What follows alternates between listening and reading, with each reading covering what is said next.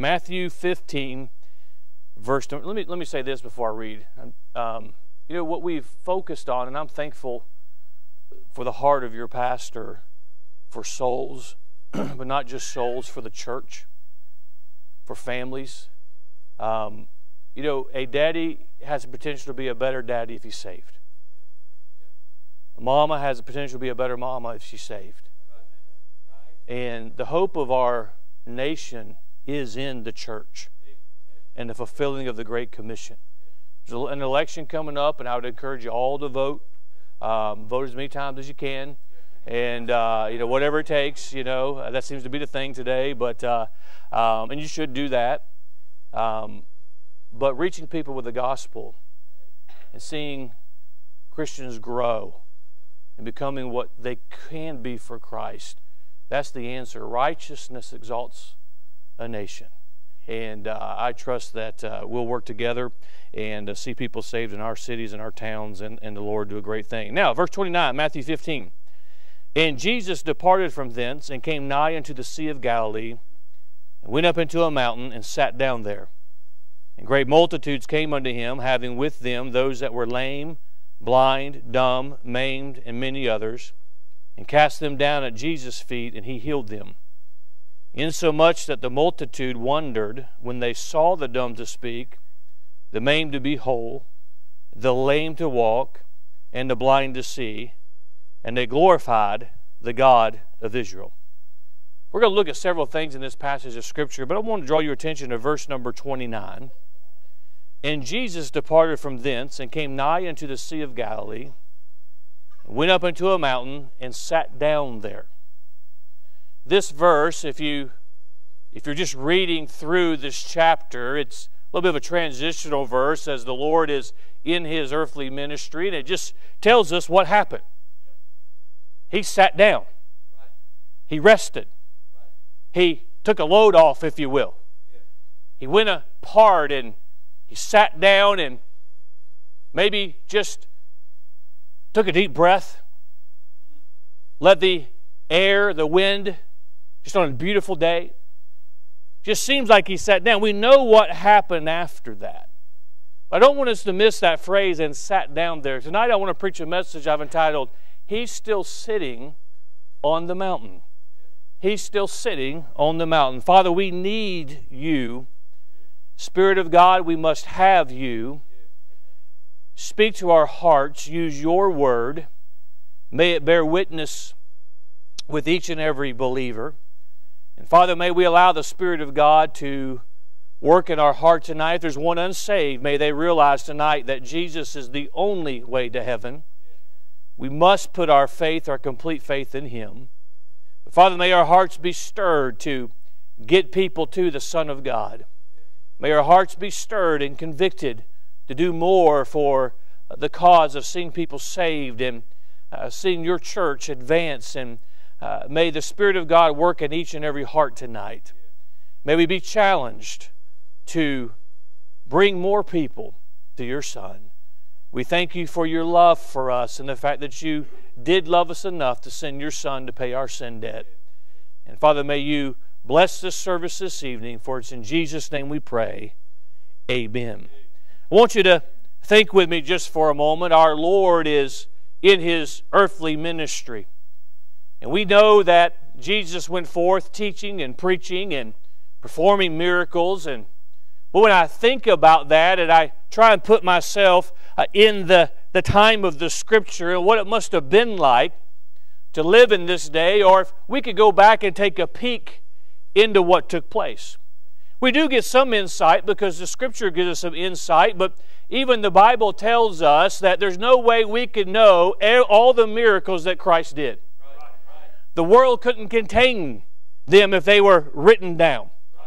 But we do know enough about his miracles to learn from them and to see the heart of our Savior. And he was in his earthly ministry and he was traveling from one place to the other and he had just performed some miracles and uh, he comes to a mountain and if you've I've been to Israel, some of you may have been to Israel, the, the mountains aren't like the Rocky Mountains or the Smoky Mountains.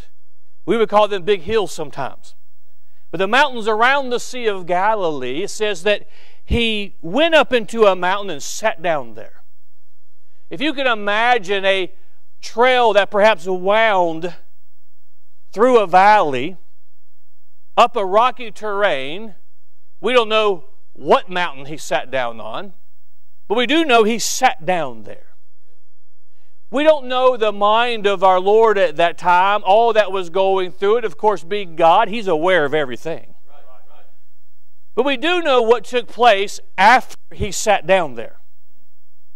The Bible tells us that He was not alone for long. Great multitudes came to Him. Think with me just for a moment. If you lived in this day, say, how did they get to him? If he's sitting up on a mountain, there was no uh, uh, social media post that uh, alerted everybody that Jesus was by.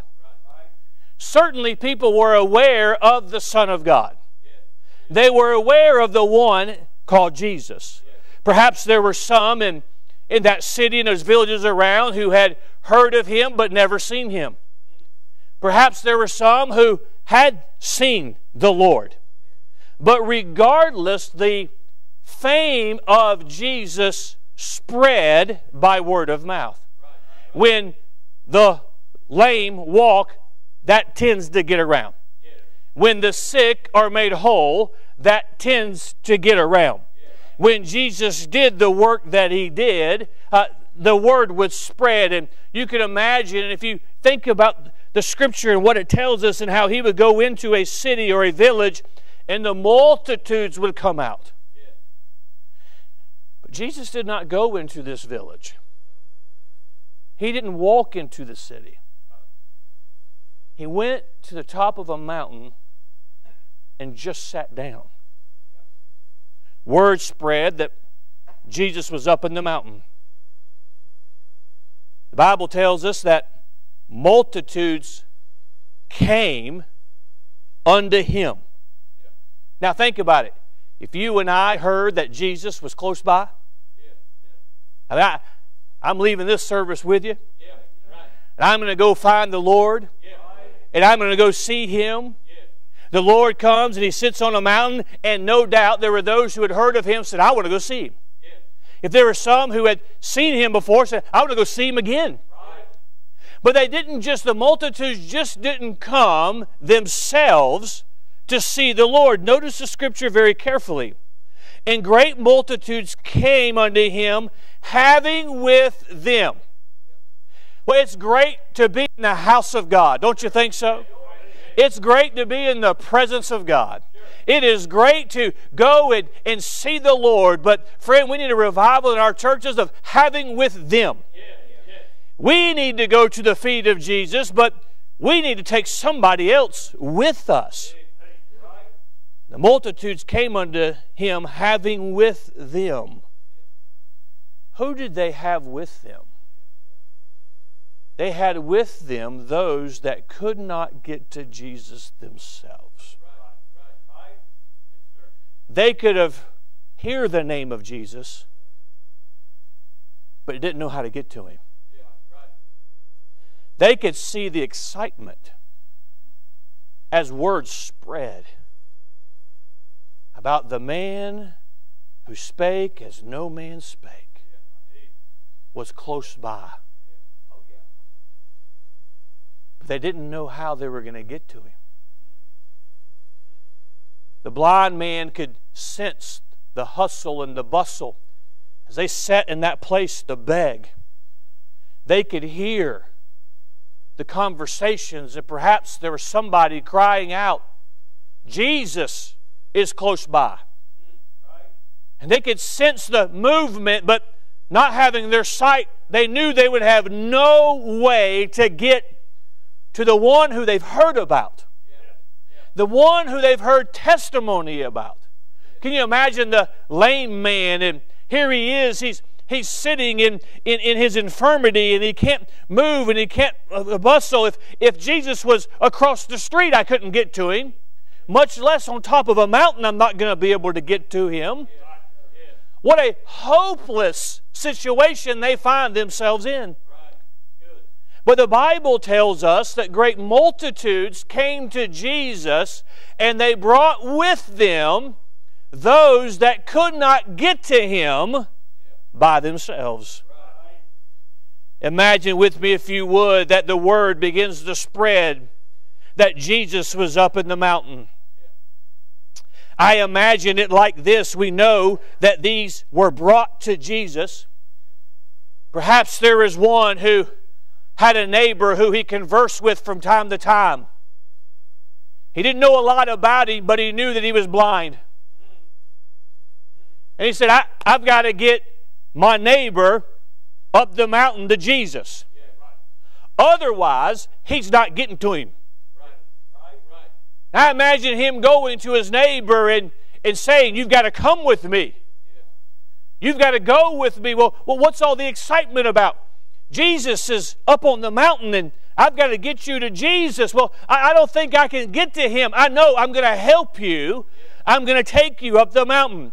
Imagine somebody who, who did business in the market, in the town square, and, and day after day or week after week, they saw the same lame man sitting and begging, and now they had heard that Jesus was on the mountain. And they rushed to that town square and they said, Sir, you've got to go with me. And, and I don't even know your name, and we don't know each other, but I've passed by here many times. And I've got to get you up the mountain to Jesus. Well, well, well, perhaps the word spread, and there were those that, that were sick with disease, and, and they had no way to get to the mountain. And they heard, maybe somebody told them, Jesus is on the mountain.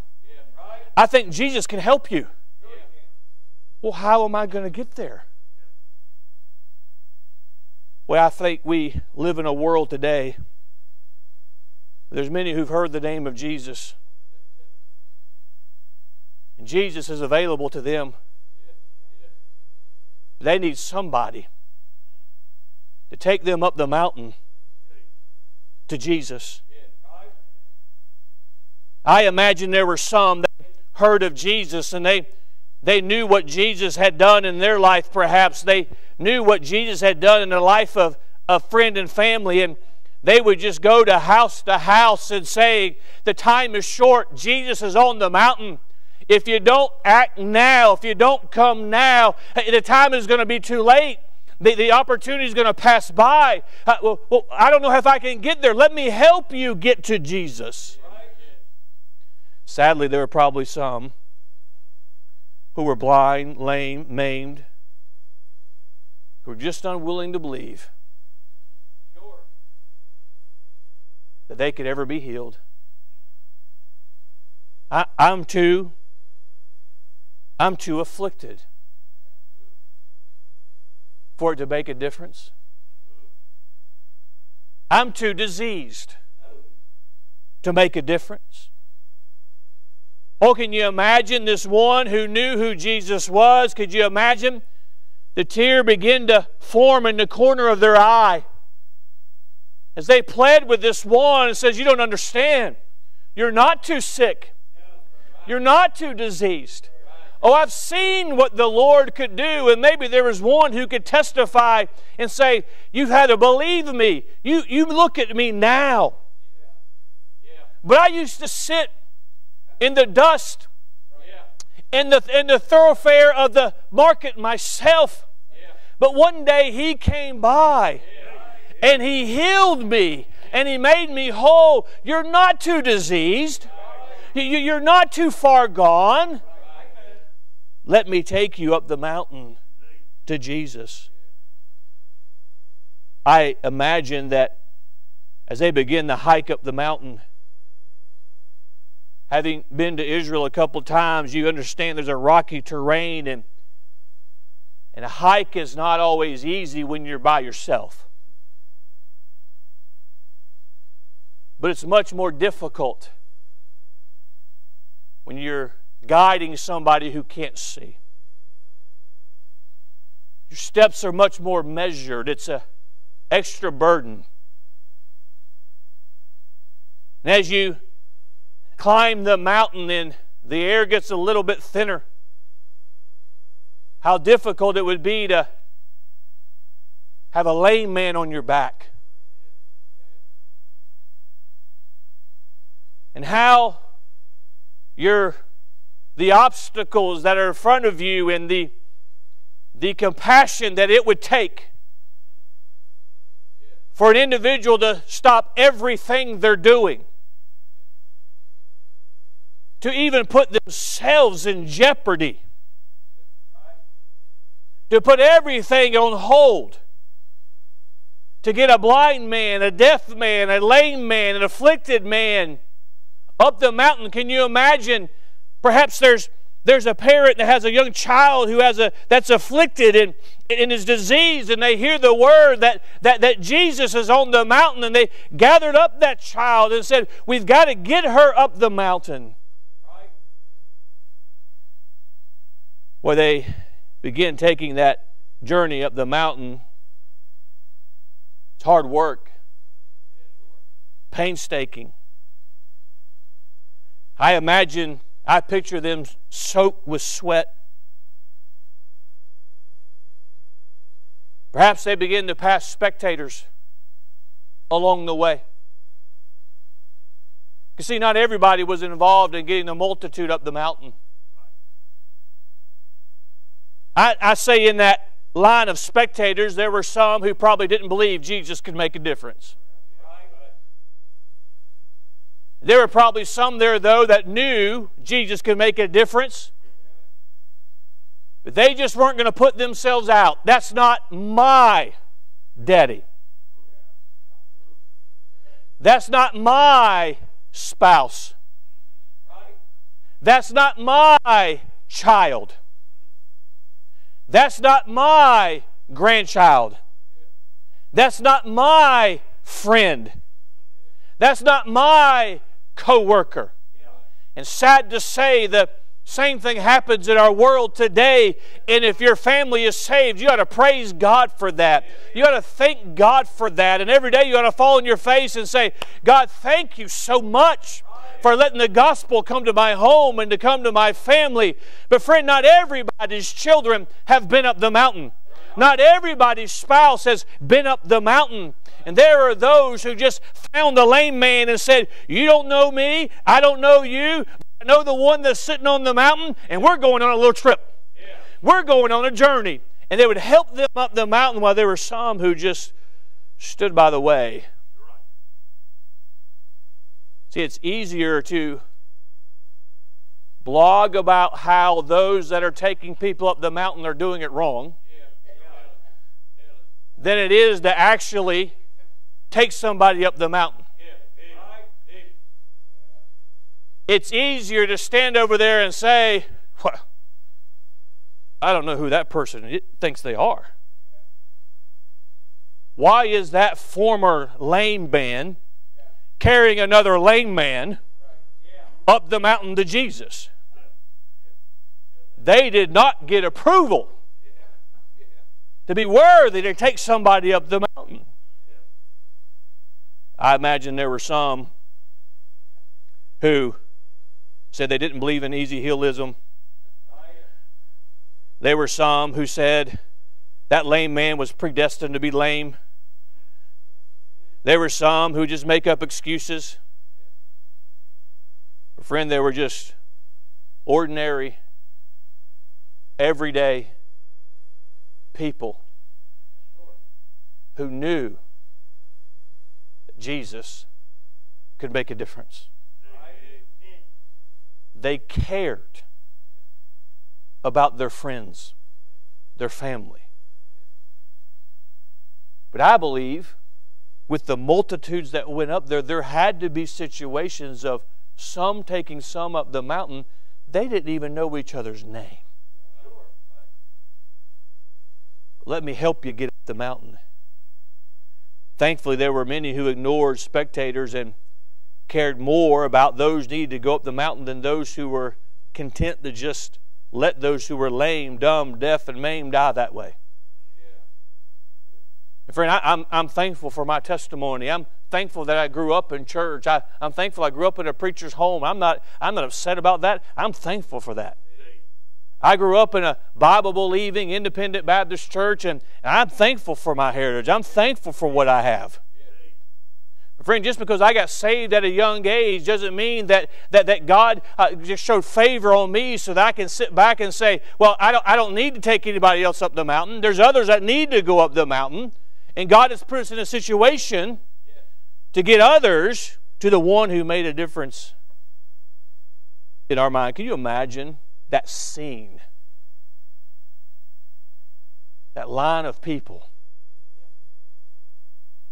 What a visual. I don't think it was pretty. Except for maybe in the eyes of our God. I think there was a struggle. I think there were many times. If, if people in the Bible were humanity like we are, and we're humanity like they were, I think there had to be times when that individual who just said, Let me help you get up, they got tired.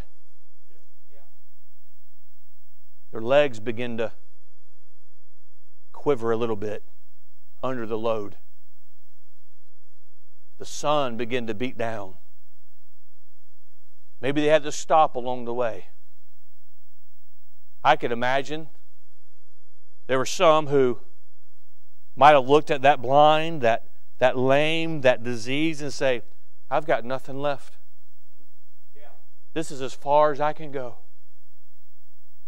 As they both begin to stop in despair, somebody came alongside of them and said, Let me help you get up the mountain. Let me help you get to our Lord. Imagine with me as they wandered up that trail and they I picture them rounding a bend and they get to the top. You know that feeling when you get to the end?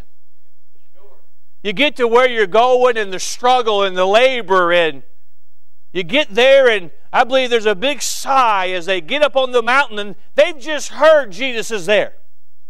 Some of them have never seen Jesus. I'd say the majority have never seen Jesus.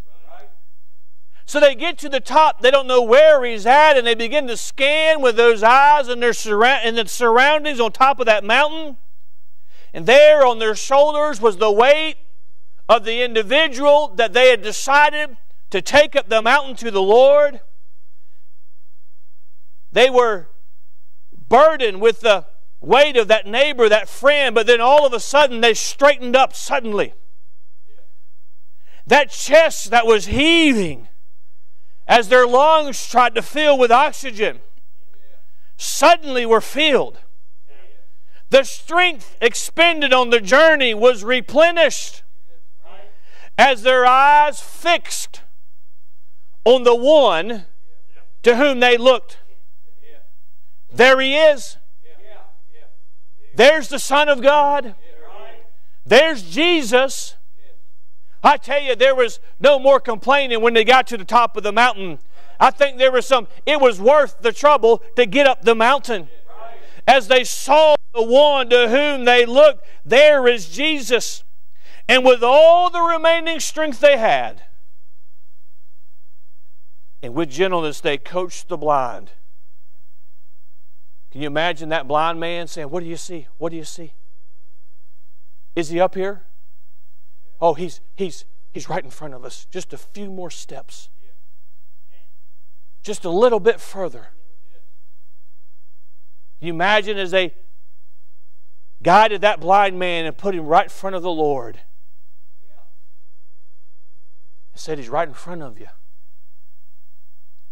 You imagine as they took that lame and those afflicted and those diseased, and the Bible says they cast them down at Jesus' feet.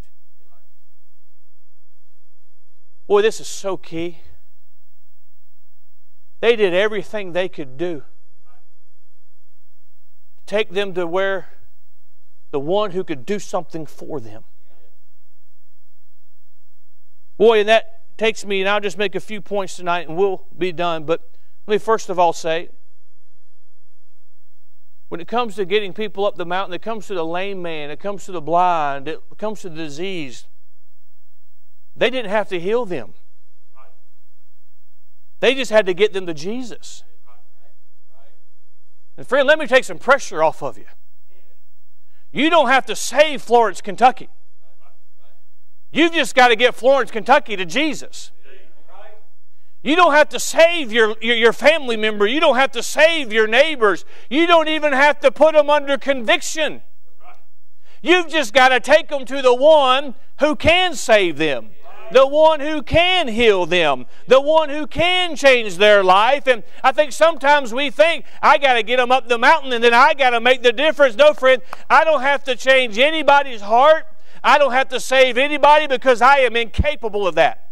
I cannot heal a lame man. I cannot heal a blind man. But let me tell you what this man can do. I can help somebody get up the mountain and I can cast them at Jesus' feet. I can't save them. I can't heal them. I can't do the miracle in their life. But I can sure put somebody on my back and say, let's go see Jesus. I can't change you. I would if I could. If I could give you sight, I would give it to you. But I can't. If I could give you a strength in those legs, I would give it to you, but I can't. But let me tell you what I can do. I can labor up that mountain. I can guide you up that mountain. And then when I place you at Jesus' feet, I've done all that I can do. I've done all that I'm capable of. They didn't have to heal them. They just had to cast them at his feet. We make the Great Commission harder than it is. We make reaching people harder than it is. It's simple. We just got to get people up the mountain. We just got to get them to Jesus. As we look into the story, we see that they didn't have to heal them; they just had to get them to Jesus. You know, can, can do you have to have a? Did they have to have a theological degree to get somebody up the mountain? Did they have to have an approval by a certain group to get somebody up the mountain? Did they have to have the talent that somebody else had? Did they have to have any talent at all to get somebody up the mountain? No, they just had to care. They just had to believe that the one on the mountain could make a difference. And sometimes I wonder, as believers, do we really believe Jesus can still save sinners? Do we really believe that Jesus can still do miracles? Well, if that's the case, church, we just got to get people up the mountain to Jesus. That's all this is this week is an emphasis that he's still sitting on the mountain. All we've got to do, it don't matter how good you sing, how bad you sing, it doesn't matter how long you've been saved or what God saves you out of. The one who does the work is still sitting on the mountain, and we've just got to care enough to find the blind man and say, Let's go see Jesus. Let's find the lame man and let's go see Jesus. Let's find an afflicted person and say, let's go see Jesus. And once they did that, notice what took place. And cast them down at Jesus' feet, and he healed them. He healed all of them. Every one of them insomuch that the multitude wondered when they saw. Simply, number two, they were amazed at what Jesus could do. Boy, think about this with me. Think about that blind man, that blind woman, that blind child who was led up that mountain. We're almost there. We're almost there. Oh, I see him. Can you get me close? I'm going to take you right to him. Can you imagine as they brought them to the feet of Jesus? Blind, having trusted that individual to get them to the one who could do what nobody else could do them being in darkness. Then they hear a voice. It's unlike any voice they've ever heard. Something different about that voice. it's a combination of power, authority, so much compassion, all combined into one. Then they feel a touch. Touch like they've never felt before. Friend, I cannot imagine going my lifetime without seeing. But could you imagine being brought up the mountain and placed at the feet of the one that you've heard about? The one that you never knew you'd never see. The one you never knew you'd never have contact with because you, you're blind, you're afflicted. There's, there's no way you could ever find him on your own. But yet now, by some miracle, somebody cared enough when Jesus came by to get you up the mountain and get you to the place where the one who could do something, and there's a voice that you, you've never heard before, and a touch you've never felt before, and all of a sudden, the darkness turns to light. And the first face you ever see is the face of the precious Son of God. The first face you ever see is the one who came from heaven, born of a virgin, with a purpose to die for the sins of men. Could you imagine the first voice? They see him, but they can't hear him. The first voice they ever hear is the voice of Jesus. Can you imagine as that lame individual was taken and placed at the feet of Jesus? I don't know how Jesus did it. We know he could just speak and it's done. But I imagine the precious Son of God extended that hand who soon would be nailed to a cross. He extended that hand and grasped the hand of a man who's never walked before, someone who's never had strength in their legs, who's never been able to steady themselves, and they grab that hand, and as he helps him begin to stand, the way I picture it is, boy, what a surreal moment when they're up on their own two feet and I imagine they've got the hand of Jesus, but yet they look down at those feet and they're working. And then to turn and look into the face of Jesus. Could you imagine the joy that would be in their eyes? Can you imagine the excitement that must have filled their heart? It's so surreal. They, they can't even grasp what is taking place because they've been without hope.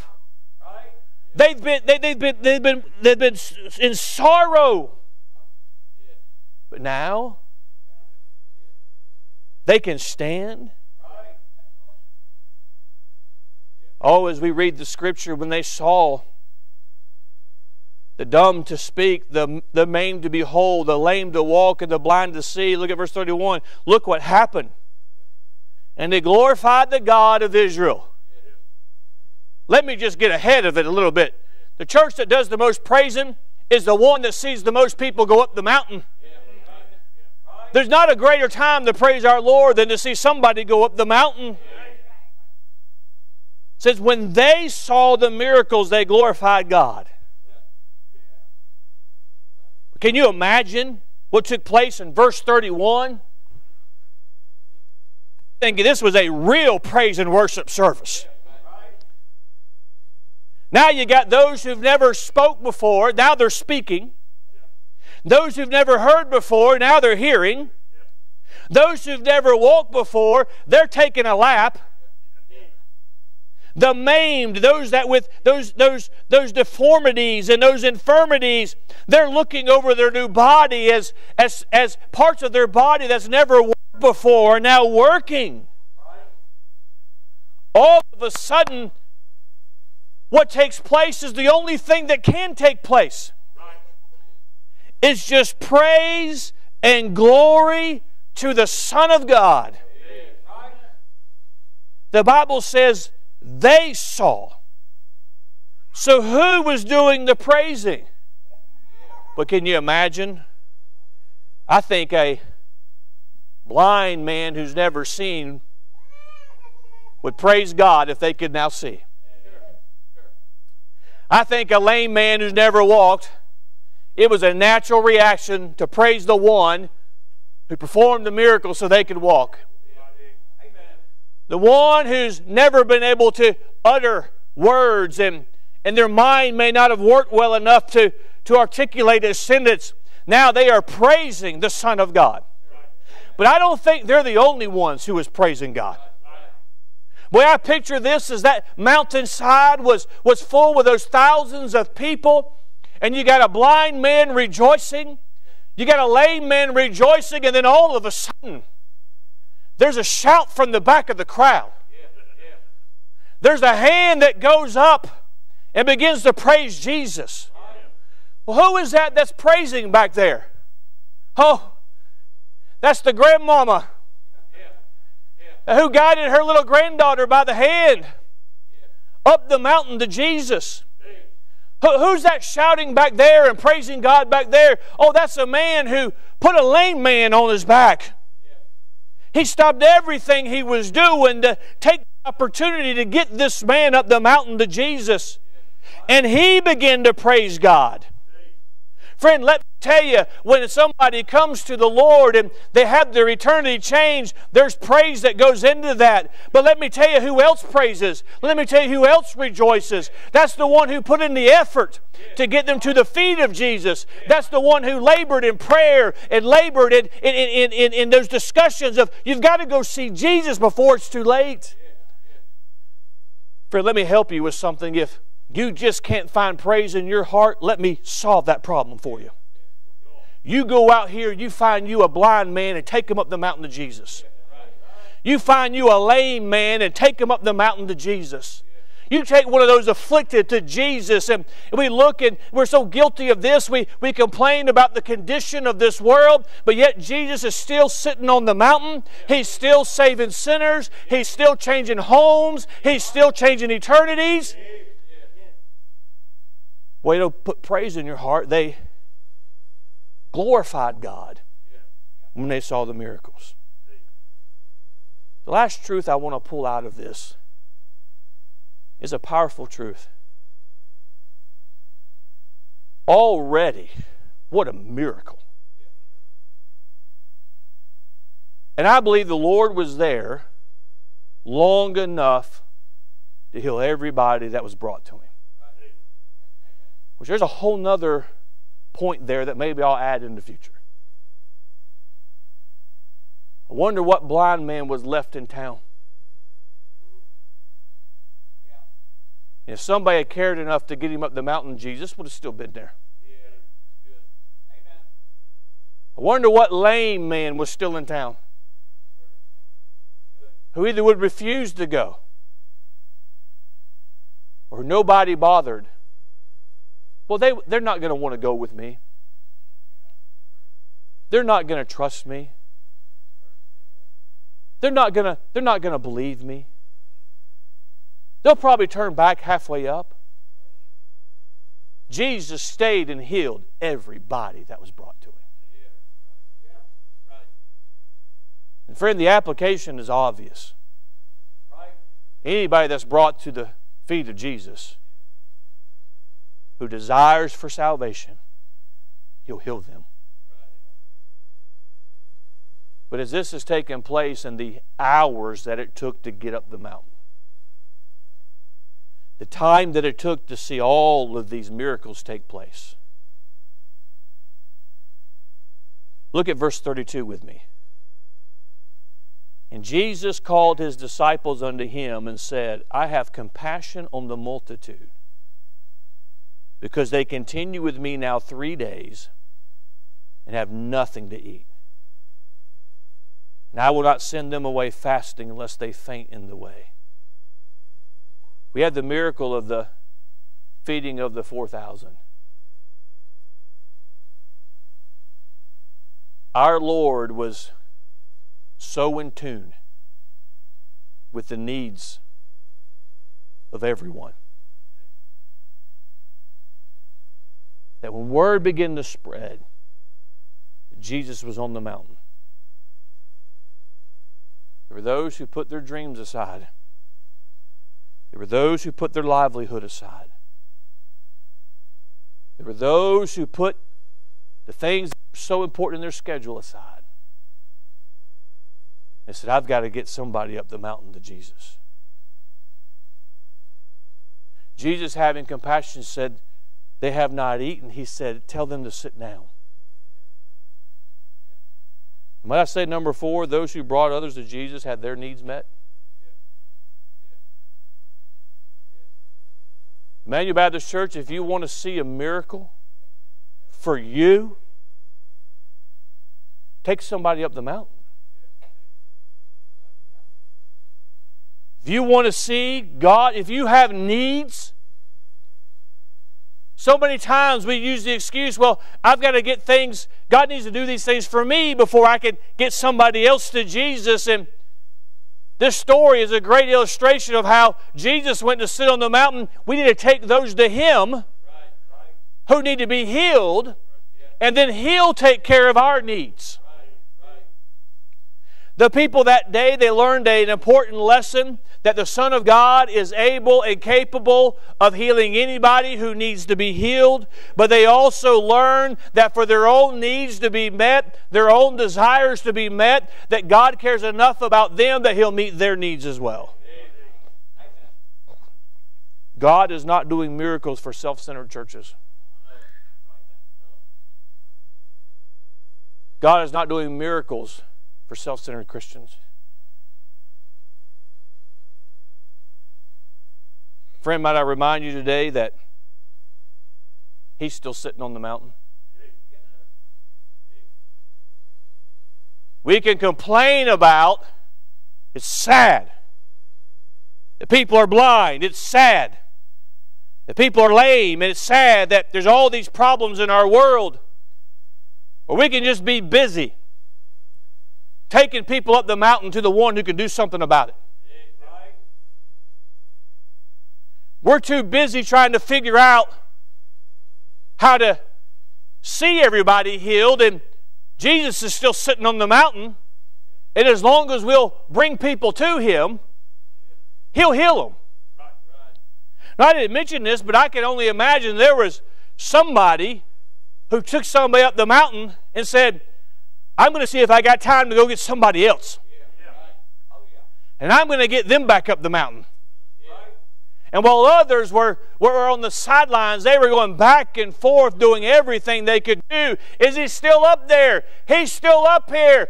I'll be right back. Church, he's still sitting on the mountain. Eventually, Jesus got up and left the area.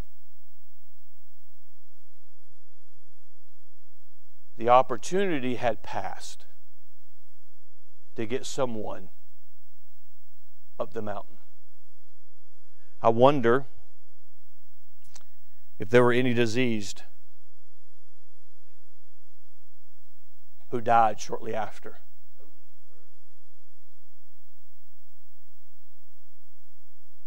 That's tragic in itself. So much more tragic. The one who could have changed it. If somebody had just said, Let me help you get to the mountain. Maybe there were some who died shortly after who refused to go. That's not anything we can do anything about. But I, I wonder if there were some at first who were hesitant. Yet that friend, that family member, maybe in some circumstances a stranger, knelt down on their knees, looked at them eyeball to eyeball, and pleaded with them. Please let me take you up the mountain. Please let me take you to the one. Let me tell you what He did for me. Let me tell you what He'll do for you. And maybe there was somebody, it was the compassion, it was the care, it was the tears, it was the pleading, it was the heart wrenching, sincere plea from somebody they may not have known or somebody who lived next to them.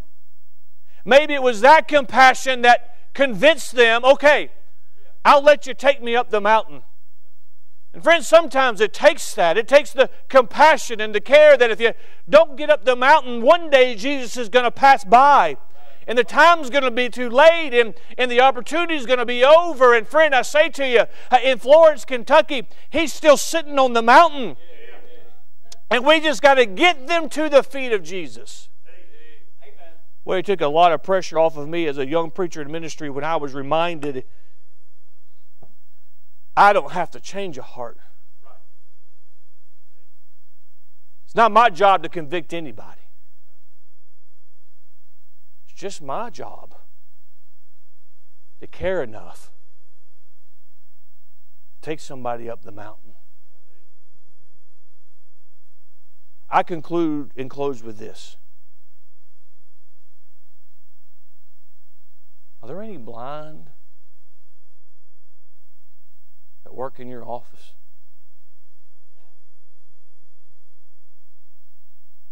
Are there any crippled that live in your neighborhood? Are there any diseased that share your last name? I'm afraid we get, we get to a place in our Christian life when we are, are upset at a blind man for being blind.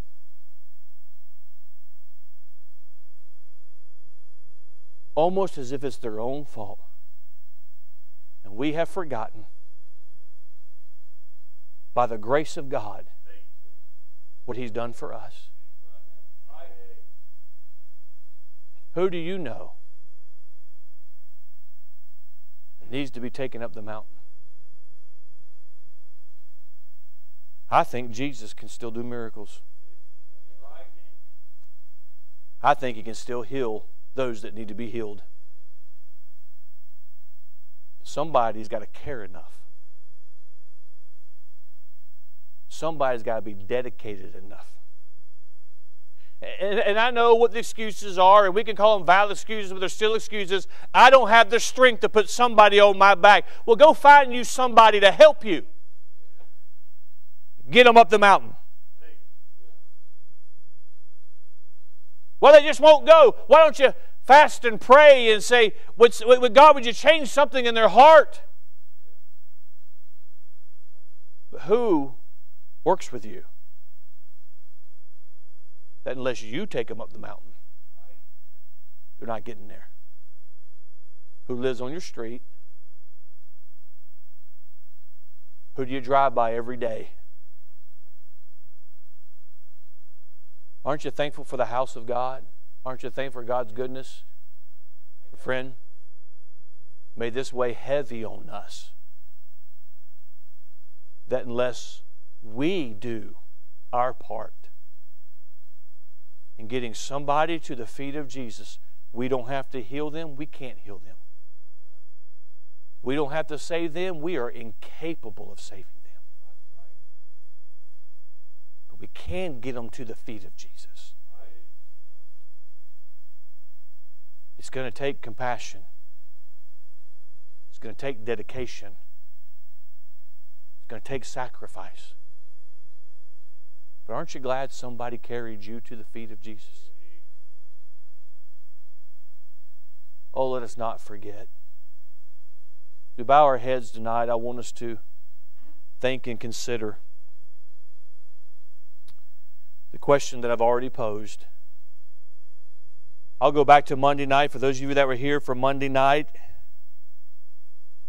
you have the opportunity by having part of the Great Commission to do what the majority of Christians never do in their lifetime.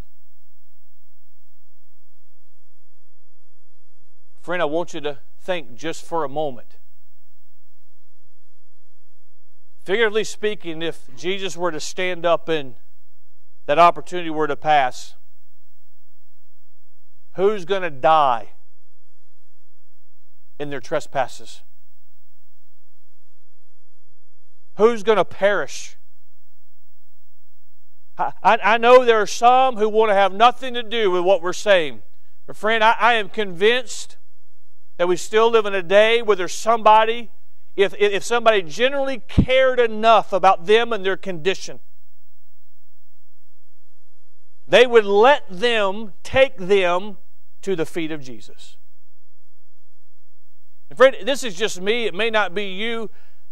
I don't have time to argue with somebody about the validity of going up and down the mountain when there are people who just need to be taken up the mountain to Jesus. Friend, who do you know? May tonight, may God burden our hearts. There might be somebody after you leave the service, there might be somebody you need to call on the phone and say, We've got to talk. I've got to tell you about the one who can change your eternity. You might need to have a sit down with somebody you love or a coworker, find some time to talk to them and plead with them. Let you take them to the feet of Jesus. From that day that we read of this account to this, the Lord has never turned away.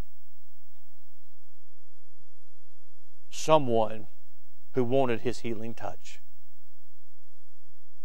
Friend, this evening, may we be concerned and may we dedicate ourselves to just taking people up the mountain. Preacher.